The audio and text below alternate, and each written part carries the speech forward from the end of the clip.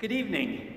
My name is Neil Bubke, and I'm the Director of Music and Fine Arts at the United Methodist Church of Whitefish Bay. Thanks for joining us in our sanctuary tonight for a very special concert featuring the students of the String Academy of Wisconsin. I'd like to introduce the Director of SAW, Darcy Drexler. Good evening welcome. We're so excited for you to hear some of our students. Our pianist for this evening is Mr. Steve Ayers, and you'll be hearing him with almost all the students.